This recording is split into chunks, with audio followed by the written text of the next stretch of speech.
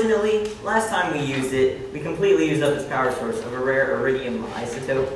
And it never worked accurately anyway. Um, it never took us to the correct time. Coincidence, it just happens to be out of power. Okay, you've seen it. As your counselors, we better get you back to these gears. On our way! Come on, Margot. There's no way this puzzle could ever... What's the matter? Your power structure is its. Impossible. Your imagination is playing tricks on you. That's ridiculous because I don't have imagination. I know that sound. This can't be possible. It's happening again. Hold on, everybody.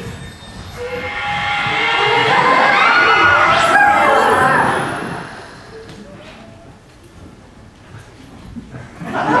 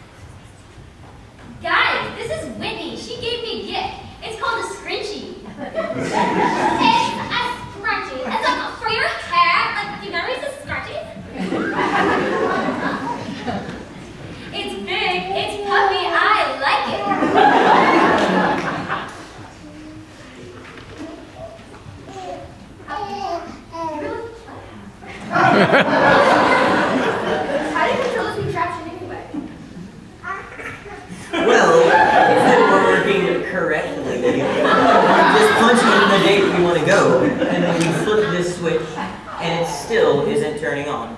Let's still. just stay here for a while. I want to get my hair done like yours. Super retro.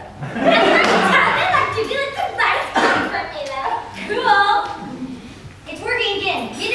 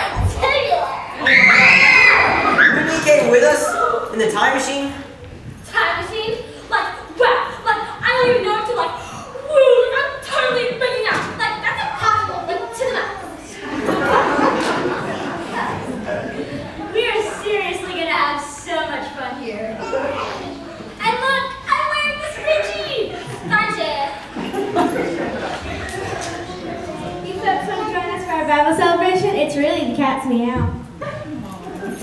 Not only we're studying the Bible, we're also starting construction on our garden here. Want to come? Yes. Great. We'll start with song. In Matthew 16, 24, Jesus said, If anyone would come after me, he must deny himself, take up his cross, and follow me. For if anyone would, would for, who would ever, for if anyone would save his life, must lose it cipher when you find it.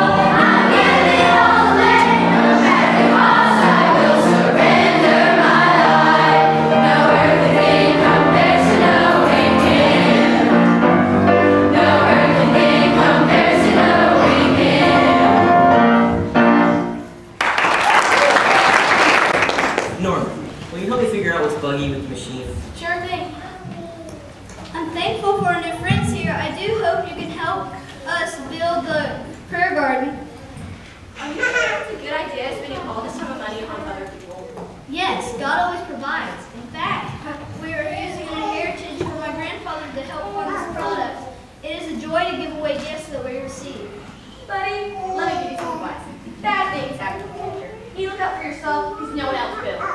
Really? I hadn't really thought of it that way. Wait, how do you know it's going to happen?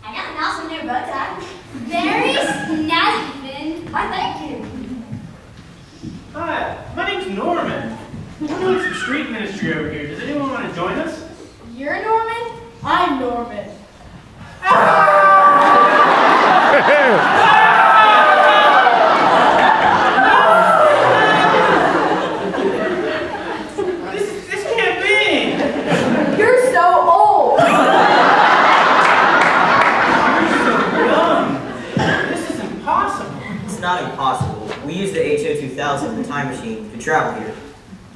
How many gigawatts did it take?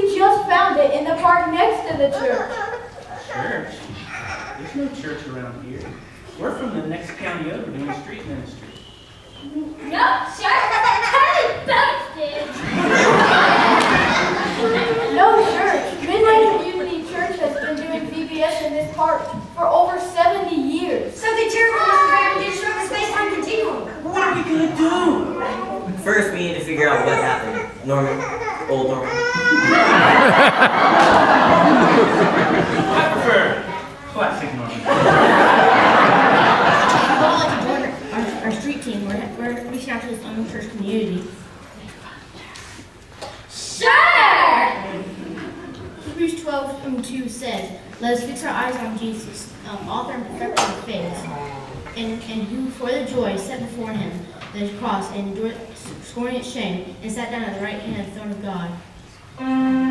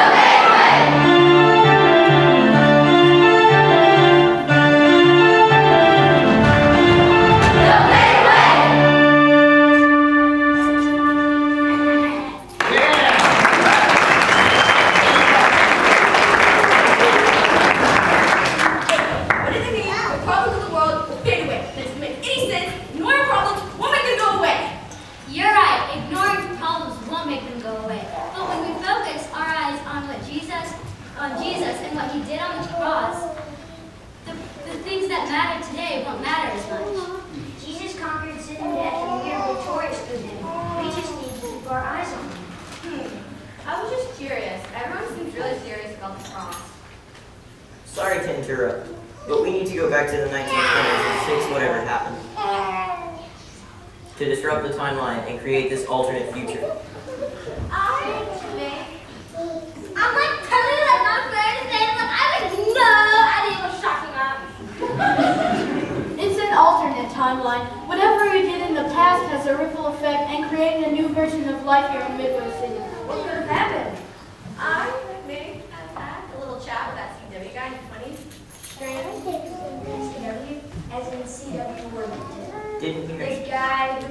funds to build Urban. Didn't you actually help to build the church too? What did you say to him? I just gave him some financial planning advice, you know, stop giving away all your money, save for yourself, that sort of thing. And that is why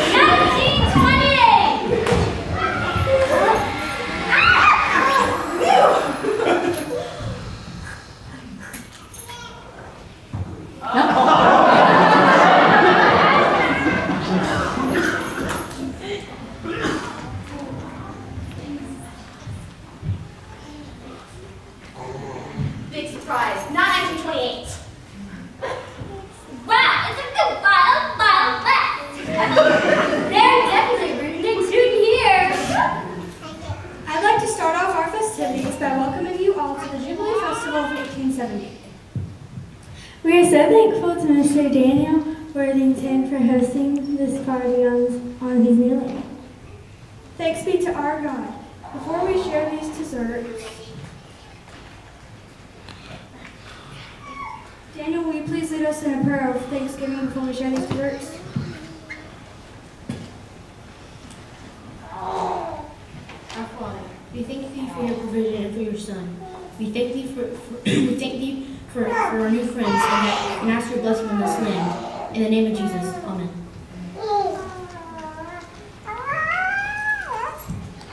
Thank you, Daniel. Before we eat, let's all sing a hymn that was just recently written. Jesus, keep me near the cross. Thank you.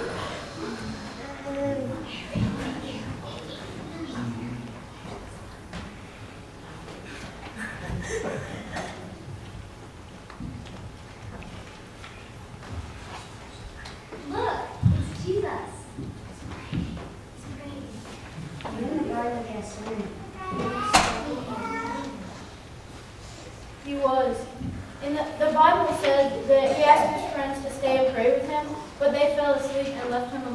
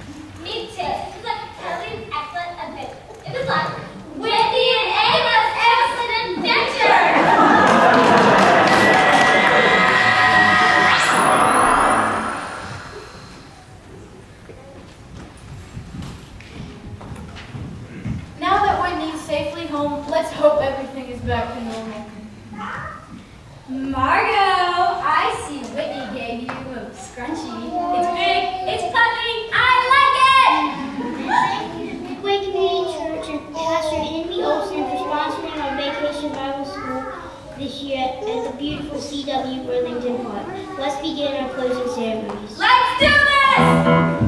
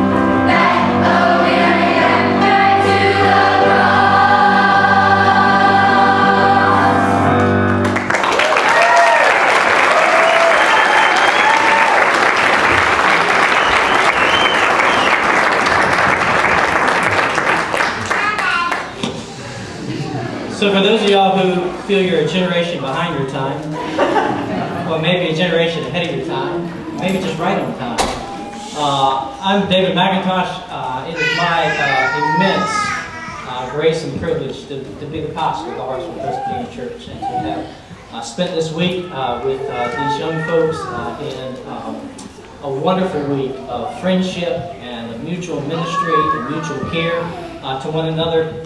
Um, to know a secret? Let me tell you how it works.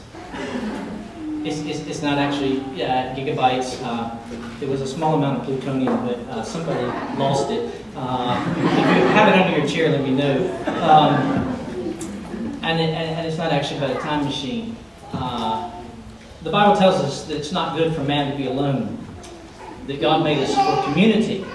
He made us dependent creatures, and that nobody nobody exists with the capacity within themselves of everything that they need. And so what we need is community, and what we need is friendship.